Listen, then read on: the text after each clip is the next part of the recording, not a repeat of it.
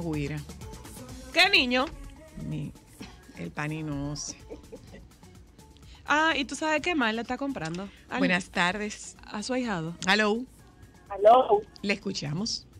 Sí, eh, es solo para usted. A su Sí, orden. señora. Ah, mira, yo no tengo he pensado, no, nadie me lo ha confirmado. Yo siempre he asociado la bichuela con dulce en cuaresma, eh, porque como a- un- los que llevan la cuaresma se abstienen de comer carne miércoles y viernes, entonces eh, eh, la carne es una fuente de energía, de proteína, y la bichuela pues también es muy energética.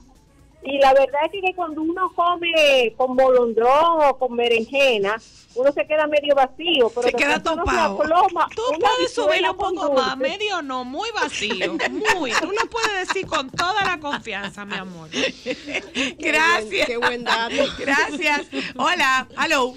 Realmente ustedes deberían tener un poquito más de conciencia Nosotros no. Sí. Eso mismo dice Robert Paulino de y nosotros en este momento. porque y encima de eso eh, se oye esa cucharita sonando. Ay, ahí. sí. No, la cucharita no estaba sonando. Va a Ay, sonar claro ahora. que sí. está- Mira, mira, Ay, mira que ahorita estaba sonando. Va a sonar ahora. Ahora sí está sonando la cucharita. A, a capela. Hola. Hello. Hola, hola. Adelante. Buenas tardes. Gracias, Yo igual. quiero una recomendación, porque yo he dejado de hacer habichuelas con dulce porque mi esposo es extranjero, él es peruano. Y él se encuentra, él no entiende la habichuela con dulce, le cae mal y no sé, como que los extranjeros a veces no lo entienden muy bien. ¿Alguna recomendación para esas personas que les cae un poco pesado? Porque la combinación con habichuela, leche, eh, puede ser pesado. Oh, para mí. un protector gástrico, ¿tú le puedes no, dar?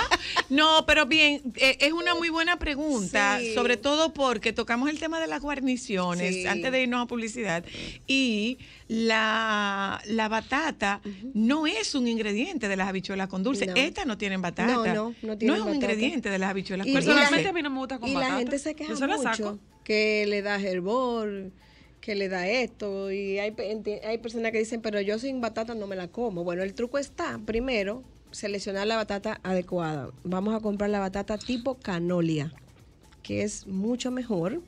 Es una batata de exportación. Ok. Eh, y a diferencia de la que tiene la cáscara morada, es mucho más pesada. Esa da mucho más duro el hervor. En buen dominicano. Entonces, ¿qué vamos a hacer? No le vamos a echar la batata cruda directo a las habichuelas, la vamos a precocinar con canela. Cuando ya tú veas que esté un poco al dente, que haya botado como toda esa agüita, entonces ya a los últimos 5 o 10 minutos de cocción del término de las habichuelas, tú viertes tus batatas y no se te desbaratan incluso. Ok. Se terminan de Oh. cocinar con el calorcito y se mantienen bonitas y firmes. Ok. Otra forma ves. es también hornearlas. La picas Horneada es espectacular. Yo la como horneada. Sí. Yo la preparo horneada espectacular. Eh, pero en este caso yo la pico en trocitos chiquititos, le pongo un poquito de canela y la pongo en el horno. Cuando ya están al dente, las retiro, como que se, se, de- se deshidratan un poco y se las pongo en la habichuela. No horneada entera como para cuando tú te la comes Como cuando así, te la vas a no, comer. Ujú. No, sino picadita en trocitos.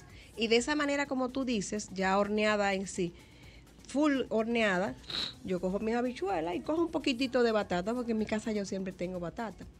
Pero con respecto a esa persona, de ese extranjero, vamos a ver si es que él tiene algún inconveniente con la lactosa de alguna de las leches y que le dé menos cantidad, porque como dice mi amiga aquí, las habichuelas con dulce son habichuelas, son, habichuelas con dulce. son, son como son. Exactamente, son como como son. son. Como son y. Eh, eh, Jacqueline, un presupuesto para unas habichuelas con dulce. Eso depende de la cantidad de libra de habichuela. Aproximadamente la libra de habichuela cuesta 79, 81 pesos.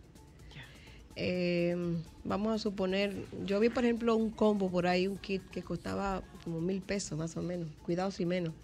Eso depende del tipo de leche también.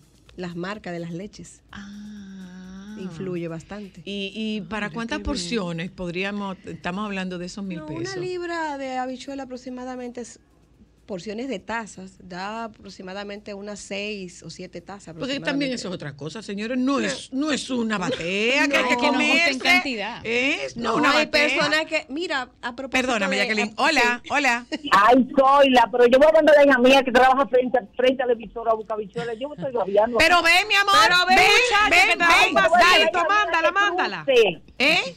Ay, Dios mío, yo voy a decir a la hija mía que cruce hasta frente. Pero que cruce, Pero dile que cruce, que que traigan que, sí. llevársela. Tráela. Dale, dale. Ay, pues le voy a decir, déjame ver si quiere ir. No, no, no, no, no.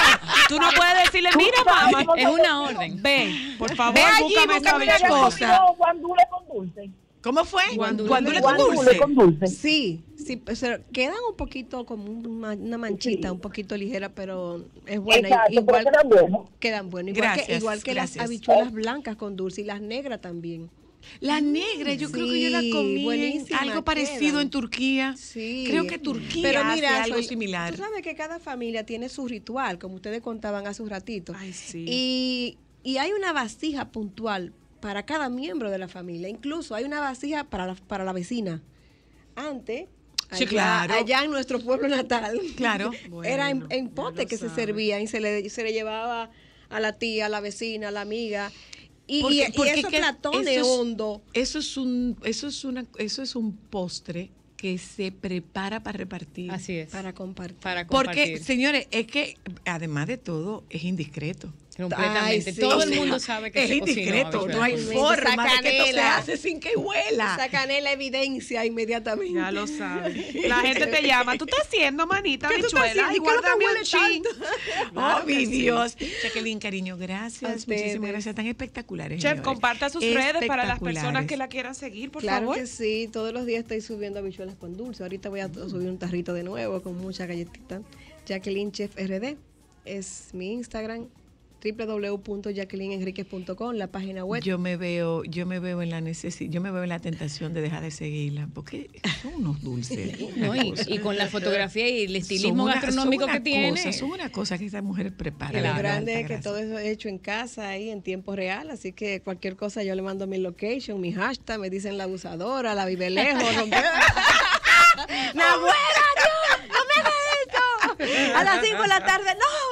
Entonces, esa es la idea, publicar en momentos Para que que usted se antoje y vaya y lo en que la gente tiene hambre. Claro. Abusadora.